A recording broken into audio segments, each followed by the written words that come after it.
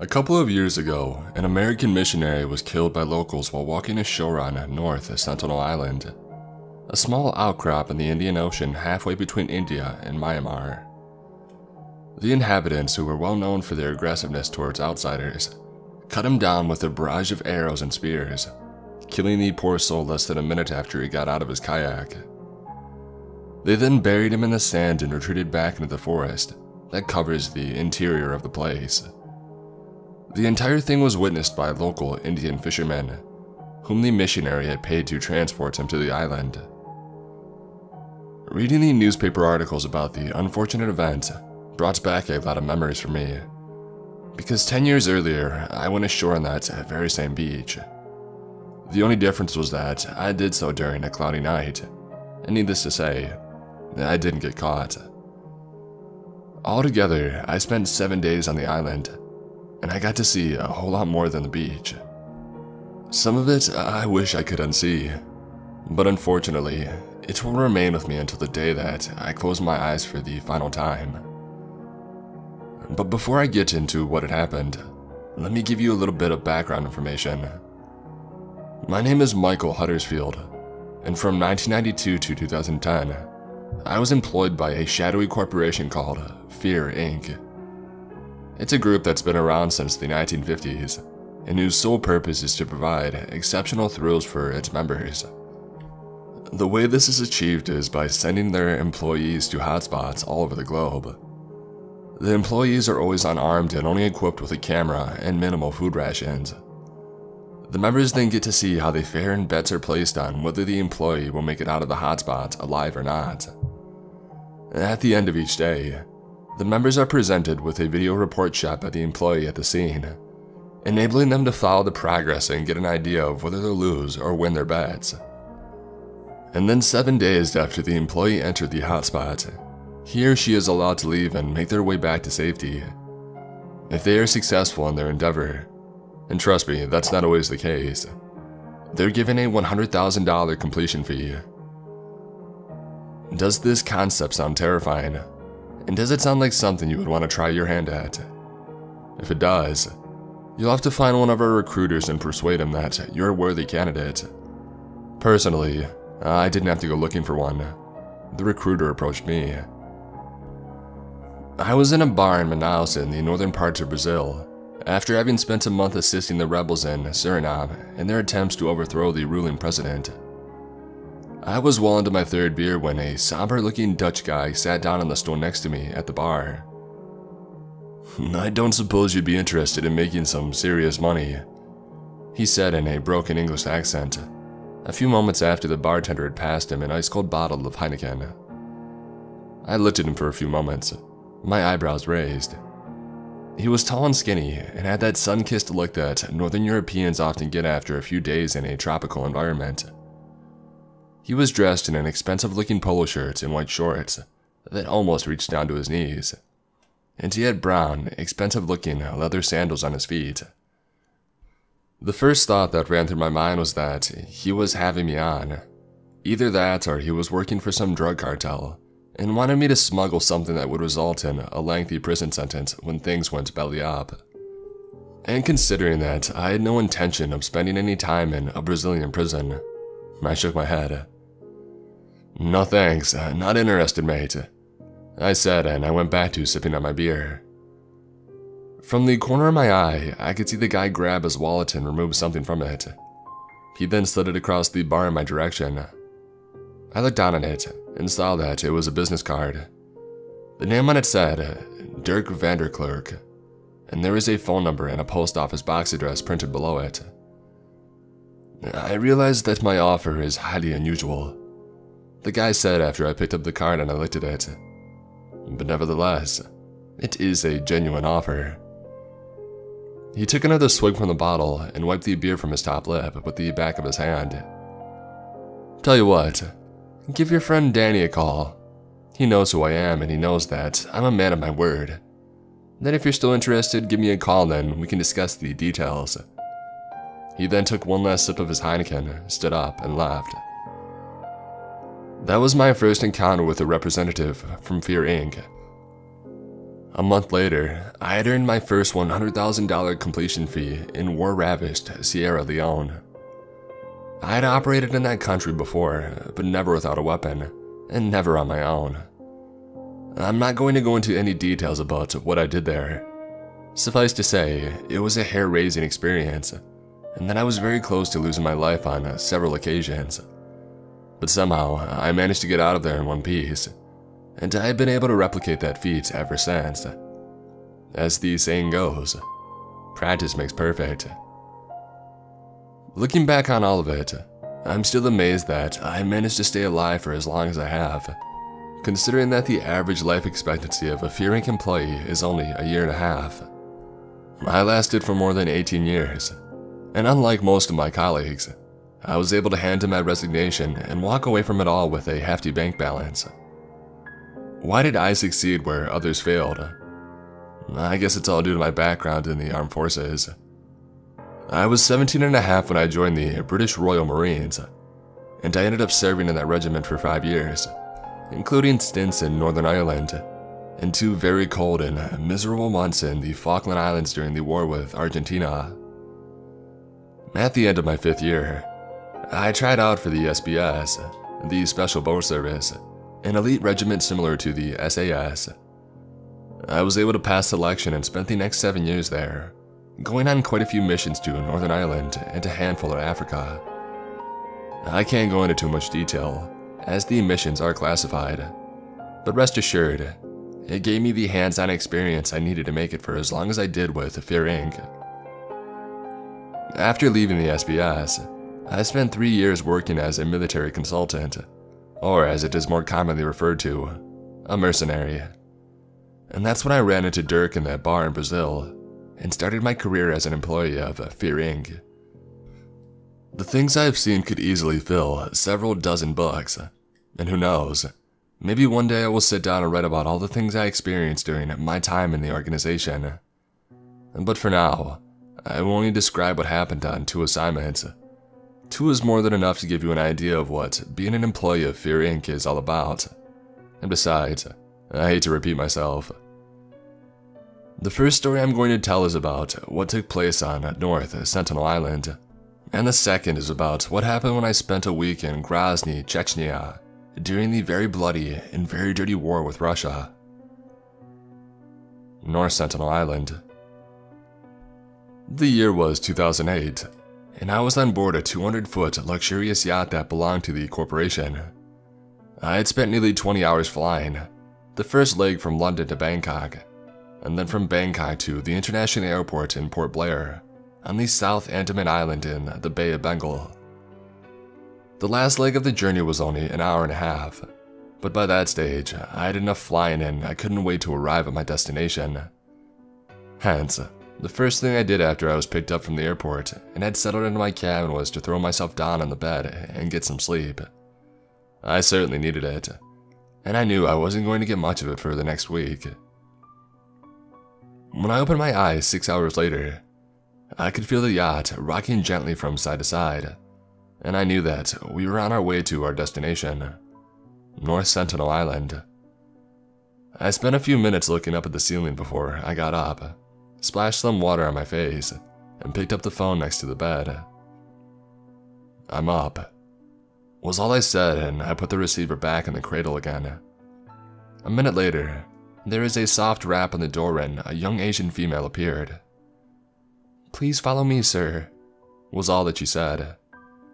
I did what I was told and was escorted to the lounge on the upper deck, where two men were seated on a very comfortable looking leather couch. Hey, Mike, good to see you again. Dirk said in his broken English and gestured for me to sit down in one of the chairs. I take it you had a pleasant flight. Well, you know what it's like. I said. After an hour, you start to get bored. And after 10, you start to go bonkers. Dirk let out a polite laugh and nodded. And then he took a sip from the glass in his hand. How you feeling? Are you nervous about going ashore? I lifted my hand and I rubbed the tip of my nose with my fingers. The question was rather pointless, given the tremendous and very obvious danger that the mission represented. No one had ever set foot on that island and lived to tell the tale.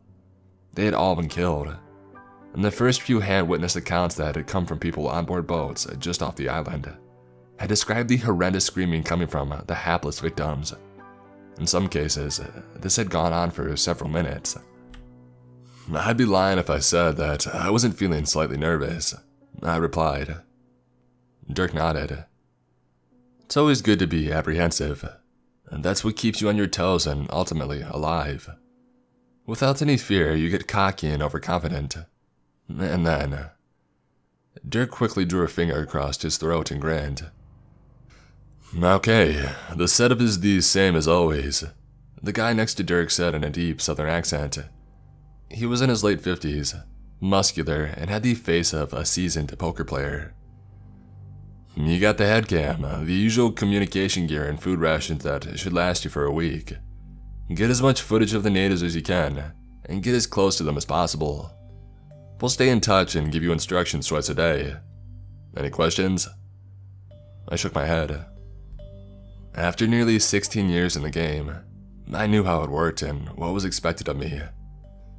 And seven hours later, I leaned back from my spot on top of the tubular hull of the Zodiac and momentarily disappeared below the surface of the dark tropical ocean. The island was half a mile away, and if everything went according to plan, I would make landfall in just under 30 minutes. As I got back up to the surface, I gave the guys in the boat the thumbs up and watched as they turned the Zodiac around and disappeared towards the yacht, which was now just a tiny dot in the distance. And then I let myself sink under the surface again and began swimming towards the shore. The island covers an area of roughly 23 square miles, slightly smaller than Manhattan, and it is mostly covered in trees, apart from a narrow section of sand that stretches around the outer perimeter of the island. It's strictly illegal to visit this place, and the Indian authorities have set up a three mile exclusion zone around the island. Not that anyone in their right mind would want to pay the place a visit. The people who live there have no contact with the outside world, and they will kill anyone who set foot on their island without exception. And it was this inhospitable place that would be my home away from home for the next seven days. If luck was on my side, I would live to tell the tale. If not, well, I wasn't too keen to think about that. I entered the lagoon on the western side 20 minutes later and remained in the water for another 10 minutes, making sure that no one was keeping an eye on the beach. I'd already left my Aqualung, weight belt, diving mask and flippers on the sandy surface just beyond the entrance of the lagoon. If I needed to get out of here in a hurry, I could jump in the water, swim out there, hook on the gear and make my escape. Once I was confident that there wasn't anyone around, I quickly went ashore on the rocky section of the beach. Walking on the sand was out of the question, as it would have left footprints and would have been akin to announcing my arrival with a loud flashbang. In my right hand was my diving knife, which I was clutching tightly and was more than ready to use if someone were to come rushing at me from among the trees. Thankfully, no one did, and I slipped into the forest and began making my way towards the center of the island. I was nervous, and the adrenaline was flowing freely through my system, as it always did when I was out on highly dangerous assignments. I was under no illusions as to what would happen if I got caught. I've seen numerous people executed and tortured to death up close. Once during a mission in the Congo, I was less than 40 yards away when Rebels rammed a sharp stake up the arse of a government soldier and drove it through his throat. And then they stuck the thing in the dirt and left the poor sod there for everyone to see. But on that first night, I didn't see any of the natives, which was a good thing, because I had a lot of things to do, such as finding a good hiding spot and setting up camp. Luckily, the vegetation on the island is very dense, there are bushes and shrubbery pretty much everywhere you look, and they make for the perfect cover.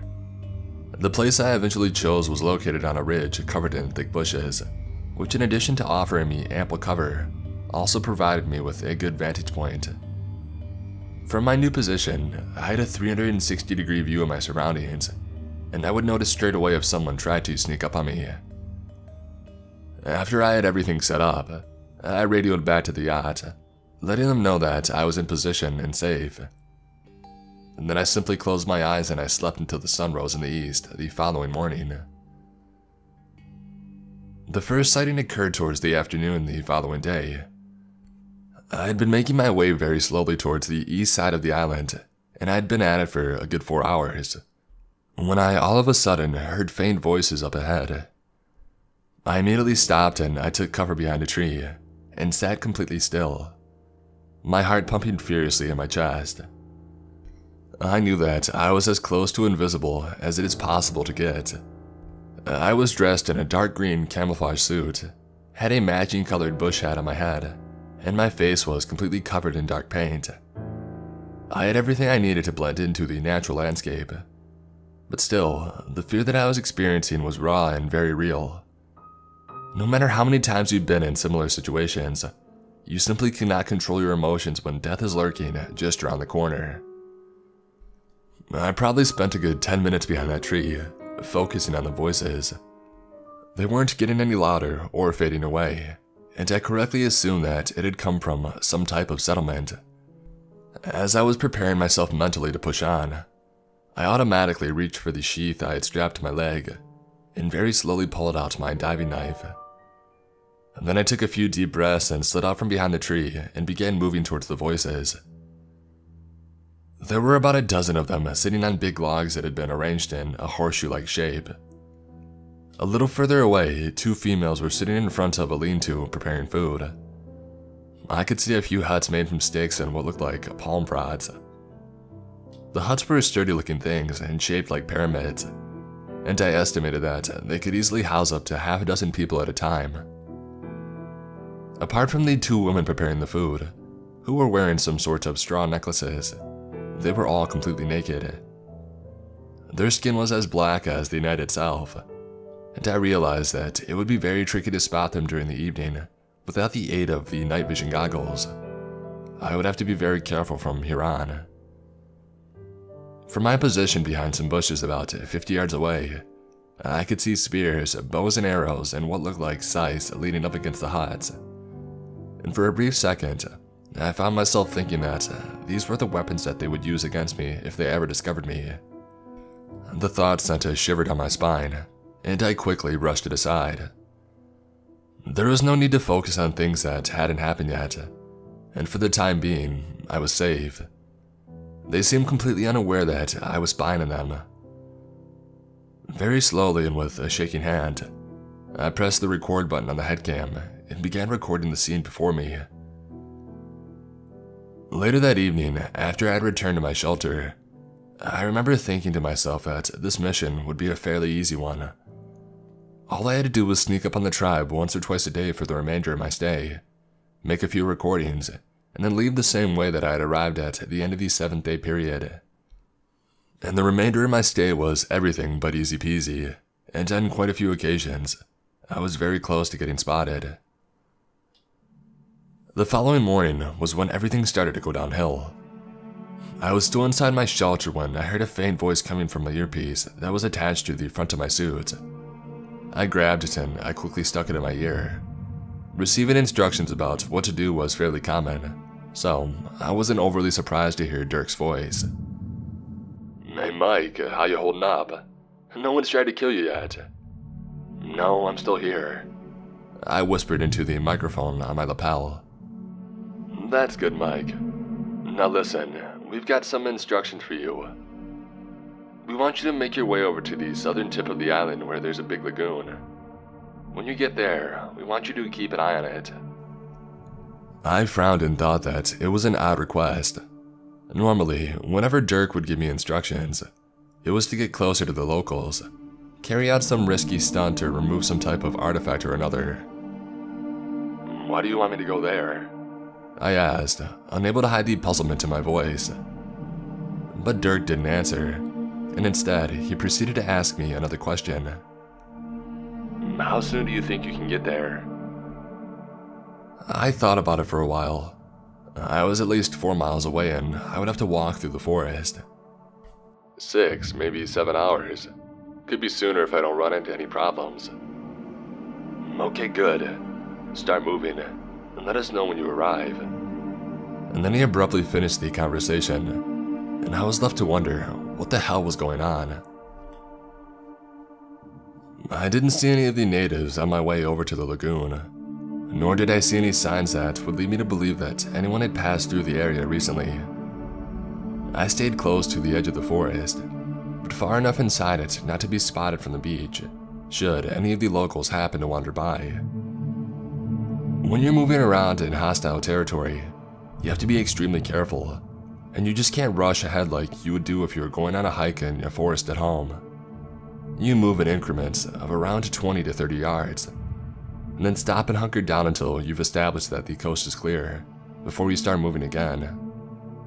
You also have to make sure that you don't leave any spoors behind, such as broken twigs, footprints, or any other signs that would give the people who might want to do you harm any reason to suspect that you're there. It's a cumbersome way of making your way from point A to point B, but it does increase your odds of making it out alive. This is why it took me nearly 5 hours to cover a relatively short distance, but given that I managed to avoid being detected, I reckon that it was worth it. The first thing I did when I reached my destination was to find a suitable hiding spot, and once again, I found a bush that I could crawl into. I was roughly 40 yards above sea level, about 20 yards from the edge of the forest, and had an almost uninterrupted view of the lagoon. I was thirsty, and I awarded myself with a few hundred milliliters of the water in my field canteen before I radioed Dirk to let him know that I was in position. And then I waited, while wondering what was going to happen next. I found out an hour and a half later when I saw something reflecting the sunlight in the distance. I got my binoculars out of my backpack and aimed it towards the flashing dot in the distance, and saw that it was the Zodiac that had brought me to the island the day before. And as far as I could tell, it was heading straight for the lagoon. I immediately radioed Dirk to find out what the hell was going on. Dirk, can you read me? This is Mike. But there was no reply, only the familiar background static. Dirk, can you read me? Over. But still, there was nothing. I muttered a silent curse under my breath and I raised the binoculars again.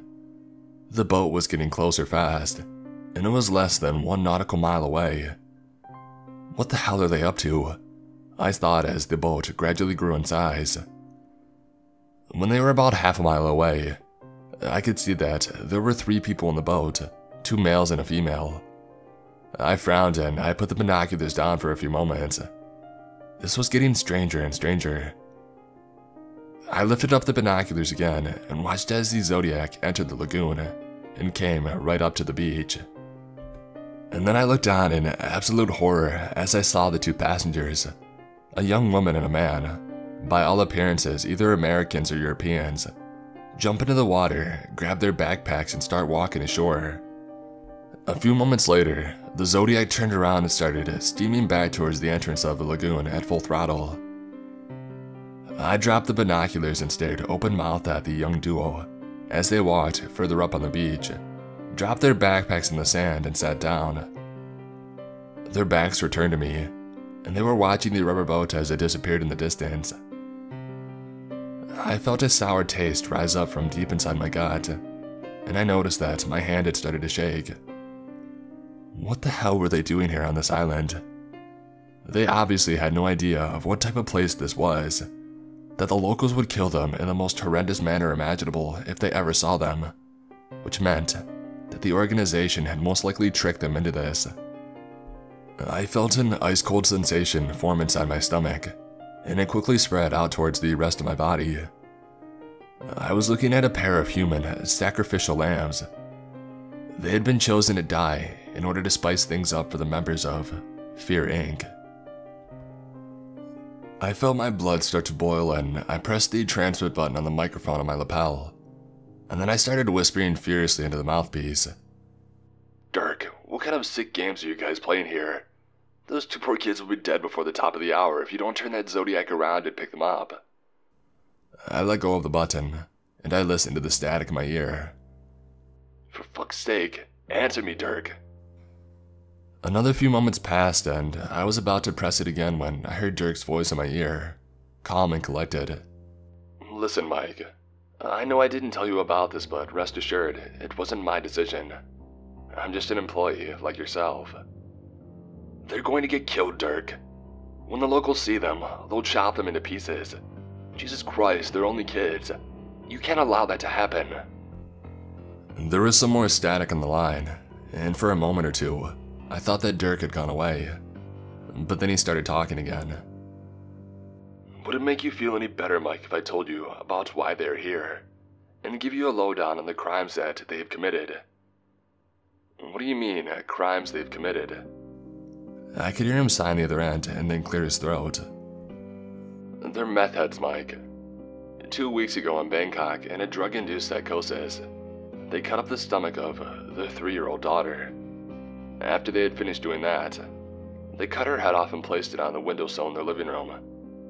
Trust me, Mike, these are some truly horrendous people, and they deserve everything that's coming to them.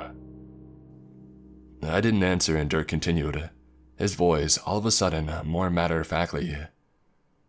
Your job is to keep an eye on them 24 7 from now on. You're not allowed to contact them or try to warn them about the natives. And if they are discovered, you are to record the entire thing. I don't believe I have to remind you of your obligations to the organization, Mike. That's it. Good luck. And over and out. And thus, my real mission on North Sentinel Island began. I was the director and sole member of the team that had been tasked with documenting a real life snuff movie involving two kids barely out of high school. I closed my eyes and took half a dozen deep breaths before I picked up the binoculars again and started on my new assignment. Nothing happened on that first day, other than me getting bored out of my brains having to spend 30 hours straight keeping an eye on a young couple hanging out on a beach. But I was a professional, and I had spent more time than that doing surveillance work, so I managed to stick it out. It also gave me ample opportunity to think about what Dirk had told me about the crime that the couple were supposed to have carried out. If it was true, and I didn't really have any reason to doubt that it wasn't, I didn't really care what happened to the two of them. I can tolerate a lot of things as far as violence and crimes are concerned, but I absolutely cannot stand people who harm young children, period. In that regard, my mission became uh, slightly easier to accept, and things certainly started to become more interesting the following day. I have since asked Dirk if the couple had been given any instructions before they were set ashore, but he has always denied this. He simply said that the couple took it upon themselves. What they did was to make their way into the forest, towards the center of the island, toward the area where the natives were hanging out. And, as I had been instructed to do, I followed behind them, observing their every move. It was quite easy to do, given how loud they were, you ever seen Hollywood movies depicting young American backpackers in uh, Southeast Asia? They're always loud and rowdy, and they stand out like a cat in a swimming pool. And this young couple played the role very well. Both of them were what I would describe as laid back, pot smoking hippie types. The guy, who the woman only referred to as Chase, had long blonde hair tied back into a ponytail, and wore a dirty old sweatband around his head. Every second word coming out of his mouth seemed to be take it easy, cool, and awesome. And after having to spend 12 hours listening to it the first day, I guess you could say that it was starting to rub me the wrong way. The young woman was slightly less annoying, and I'm not quite sure if that was because she talked a whole lot less than Chase. I guess I'll never really know the answer to that question. She had the same long hair as her partner, and she was quite attractive. I've often wondered since how long they would have survived if they would have just stayed on that beach, going off for the occasional swim and just dozing off under their makeshift shelter, which was a piece of tarpaulin stretched out in a 45 degree angle from a rope strung between two poles. If luck had been on their side, maybe they would have lasted a few extra days, maybe even a week. It's impossible to tell. And given that they didn't, it's an exercise in futility to go on about it. The truth of the matter is that they'd only been walking inland for less than an hour before things started to go downhill. It started with uh, these strange noises. To me, it sounded like someone was regurgitating their own vocal cords, My heart skipped a beat, and straight away, I felt the adrenaline rush into my bloodstream. These were not noises made by any of the animals. They were human-made sounds, something that was confirmed a few moments later when the birds in the trees above us all of a sudden took off. I froze and stood absolutely still, fearing that we were very close to the natives. The young duo, however, seemed oblivious to it all, and they just kept on walking, talking just as loudly as they had before. Oh my god, I thought. They were going to walk straight into them. And then I immediately realized that the same thing applied to me. I had no idea where the natives were. I suspected that they were somewhere ahead of us, but trying to pinpoint the exact location of a sound in the jungle is extremely difficult, and for all I knew, they could be behind us. It was also a real possibility that they already had a visual on us, and that they were getting ready to strike. Shit, why did I get tricked into spying on these kids? I should have insisted on sticking to the original mission and moved around at my own pace. This was crazy, and it could very well get me killed. I quickly scanned my surroundings, but was unable to see anyone apart from the young couple, who were walking ahead of me without the slightest idea of the precarious situation that they were in. My heart was hammering away now, and I was wound taut as a piano wire.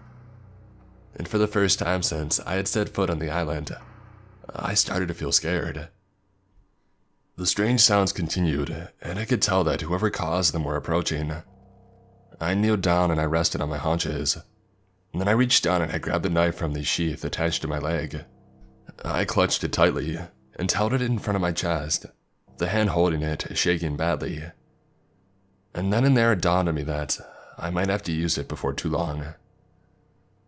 There's a big tree about 20 yards up ahead, and I decided to make a dash for it. I took a deep breath, stepped away from the bush I was hiding behind, and I made my way towards it. The strange sounds were very close now, and I was finally able to pinpoint where they were coming from.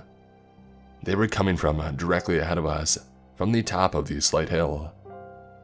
I made it safely over to the tree, and carefully stuck my head out to have a look, and that's when it started. There was a whooshing sound, and then the familiar thump that an arrow makes whenever it embeds itself into a tree trunk. I couldn't see where it hit, but I could see Chase turn towards the right and stare at something, so I suspected that the arrow had hit the tree next to him. I was about 40 yards behind the young couple, slightly to the left and at a slightly lower elevation. It took a second or two before they reacted to the arrow, but when they did, it was with a loud, holy fuck. A few more seconds passed and I could hear the whooshing sounds of a few more arrows, but still, they were not hitting their targets. But this time, the arrows did jolt the young couple out of their paralysis, and they did what most normal people would have done in this situation. They threw themselves around and bolted back in the direction that they had come from. A few moments later, I got my second glimpse of the natives since arriving on the island, and this time, they were a lot more agitated. There were four of them, probably hunters out looking for food, who had accidentally come across the young couple. I stayed where I was, not moving a single muscle. The key to avoid getting spotted in any environment apart from using the right camouflage is to not make any sudden movements. But instead, I followed them with the tiny camera attached to my hat. I turned my head very slowly, doing my utmost to do it as smoothly as possible. This was what the members of Fear Inc. wanted to see, and this is what they paid their premium memberships for. This and the scenes that would play out when the hunters finally caught up with the young couple and killed them. What a freaking sick and messed up world this was, I thought to myself. I waited until the natives had passed me, and when relieved to discover that they hadn't noticed me, then I counted to three and pushed myself away from the tree. And this time, I was running too. Not that there was any real danger of losing track of them, the young woman was screaming hysterically, and the natives were making their loud regurgitating sounds. At the same time, they were sending off more arrows, and I could see one of them throwing a spear. I stepped out of the vegetation and found a natural path that I could follow, about 40 yards or thereabouts behind the natives and slightly to the right. We were making our way back towards the beach. Millions of thoughts were racing through my head at that very moment, but the one that kept repeating itself was whether the young couple was going to make it out of the forest or not. I also wondered if they realized the futility of their actions, that it didn't matter how long they ran for, that in the end, the natives would catch up with them, and this whole thing would come to an abrupt end. Their fates had been sealed the moment they jumped off of that Zodiac. I kept on running for another minute, and then I stopped and I took cover behind a tree. I could see the woman lying on the ground, her hands pressed against her thigh. There was an arrow there, and blood was seeping out through the wound. I didn't see when it had struck her, but I did see the moment when the natives caught up with her. She was screaming frantically, and when they stopped in front of her, her arms shot out to protect herself. In addition to this, she was kicking with her good leg, as if she believed that this would somehow keep them at bay. But she was no match for the guy with the spear, who ran forward, holding it high above his head with both hands, and then thrusting it in a quick downward motion. The weapon hit her lower abdomen, and I was able to see the wooden weapon bury itself into her body. Her face contorted in pain, and the screams intensified. I was only 30 yards away, and I could see everything that was going on. And then the others joined in. They were shooting arrows at her and hitting her with what looked like mattocks and scythes. And the only words that can truly describe what I was witnessing were barbaric savagery. They were attacking her like she was a worthless rodent. The regurgitating sounds were interspersed with the thick slashing sounds of the sharp implements piercing her skin, and the hard wooden clubs hitting her bones, shattering them. I felt physically ill and I twitched uncontrollably. This was on par with the incident I had witnessed in the Congo some years earlier. The woman by this stage had realized that facing them with her arms stretched out was not a good strategy, and against all odds, she had managed to turn over onto her side and was now attempting to drag herself away. But it was no use. The injuries that she had sustained had tapped her of all her strength, and it was only a matter of time before it would all be over. And as it turned out, I didn't have to wait for that long.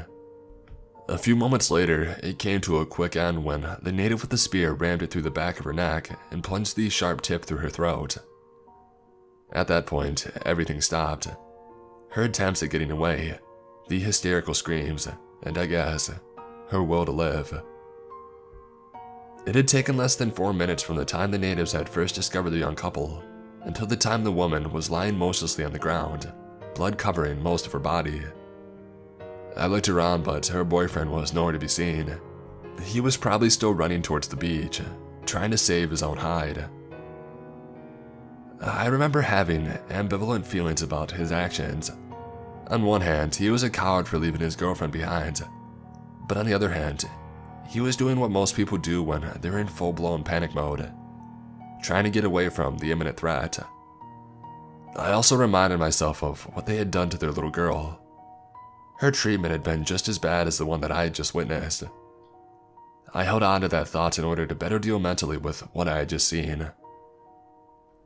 They did not pursue her boyfriend, at least not straight away. There were other things to take care of, such as tying vines around the young woman's head and hoisting her up from the forest floor.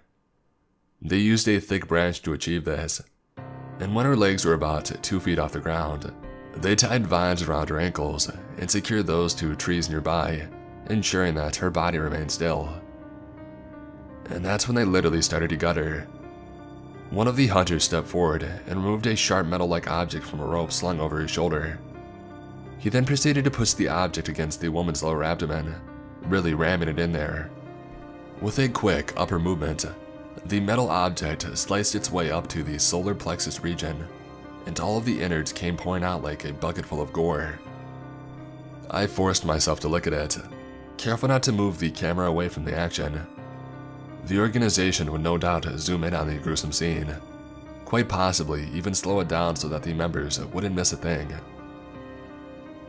They spent an hour mutilating the body before they finally moved on walking in the direction of the beach and the boyfriend that had managed to escape.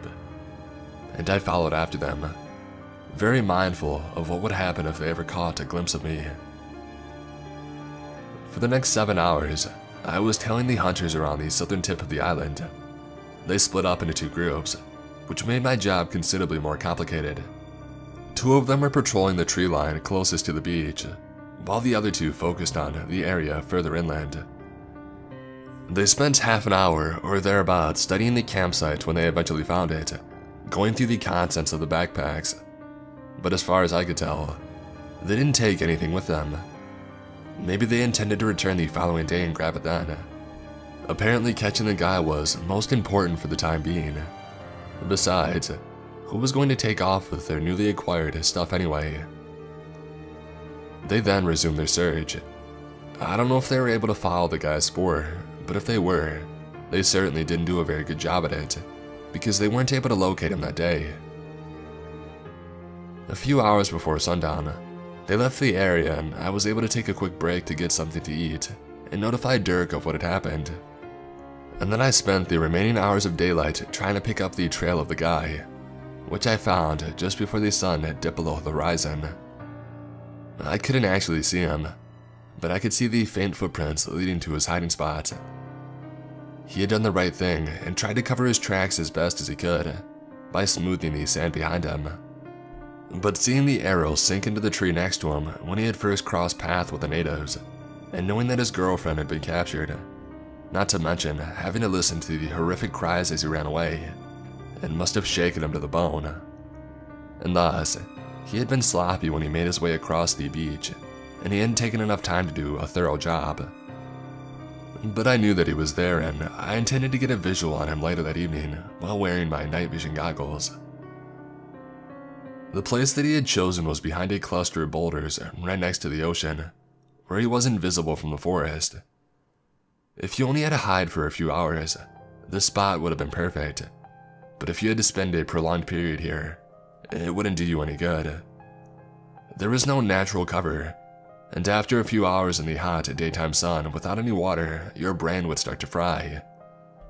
A good strategy would have been to move to another location after the sun went down, then head back to the campsite, get some water and provisions, and find a new location to lay low. But this guy was not an experienced soldier, and he had just witnessed a very traumatic episode, so he remained where he was. I did get a visual on him a few hours after sundown, and he was literally hanging onto the boulder for dear life, his face pressed into the rock as if it would somehow make it harder for the natives to spot him. That night, as I settled into my new hiding spot, overlooking the cluster of boulders, I knew that he wouldn't see another sunset. The natives would resume their search the following morning, and they would give him the same treatment that his girlfriend had received a brutal and painful death. One part of me felt a tiny bit of sympathy for him, but the other and much more dominant part of my brain felt that he was getting his just desert. In my opinion, child killers deserve no mercy. I was right about the natives resuming their search the following day.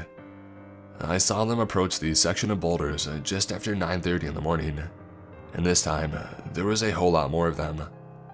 I counted seven men on the beach, and I guessed that there were probably more of them scouring the forest. The sight made me slightly apprehensive.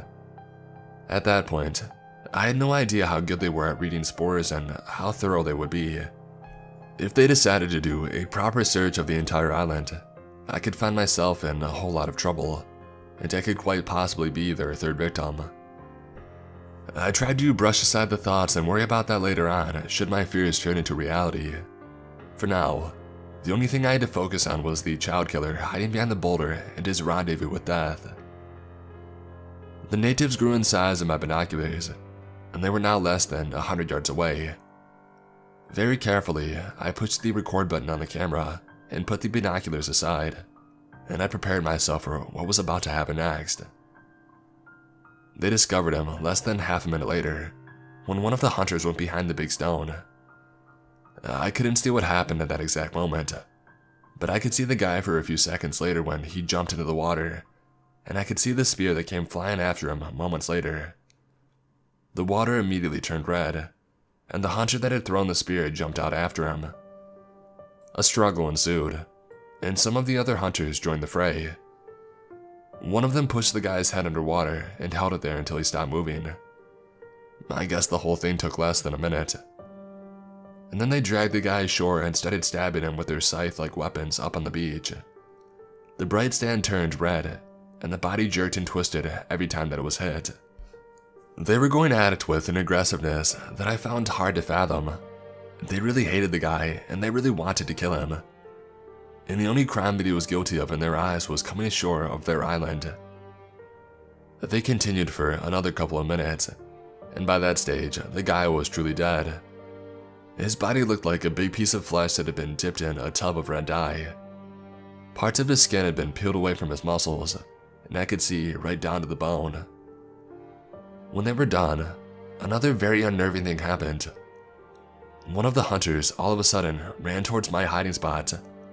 I felt my blood go cold, and I had to will myself to lay still. There was no way that he could have seen me. And then when he was about 20 yards away from me, he came to an abrupt stop and he raised his hand in the air. His upper body was covered in the victim's blood, and he had a feral look on his face, as if he had ingested some very potent drugs. The bow in his hand was looking extremely menacing, and I hoped that he wasn't about to fire one of those arrows in my direction. Luckily, he didn't, but he started shouting and screaming and hopping up and down. I've often thought later on that he must have suspected that there were other unwanted people on the island, and that it was his way of letting them know that they were next. This routine went on for another few minutes, before he turned around and he walked back to the others.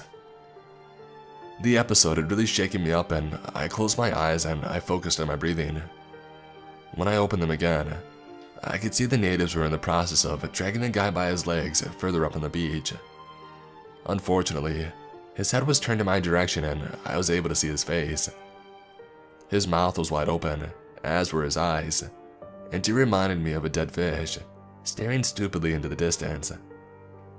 It was a horrendous way to die, even though he himself had committed a horrendous crime. Maybe God, that is if he actually exists, would have mercy on his soul and take him into his fold. But even if that didn't happen and he was taken straight down to hell, it couldn't be much worse than what he had gone through for the last minute of his life. I spent another five days on that island after that, and as I had expected, the natives did a thorough search of the place. For the next three days, they went over the southern and western part of the island, and a few times, I was very close to getting discovered. One of the natives passed less than three feet away from the ditch where I was lying under a thick cover of leaves and branches. I could see the scars on his legs and the thick soles on his feet. I could also see the bottom part of his spear that he used as a walking stick. But thankfully, he didn't notice me. And seven days after I first set foot on the island, I left the place. I swam out of the lagoon, attached my aqualung flippers and weight belt, and continued another mile out from the shore. There, I signaled with my flashlight and guided the Zodiac to my position. I had survived my mission yet again, and I earned my completion fee. Now, all I wanted to do was relax for a few weeks, recharge my batteries, and try to get the terrible things I had seen on that island out of my system. I couldn't wait to return to civilization and live like a normal person for a while.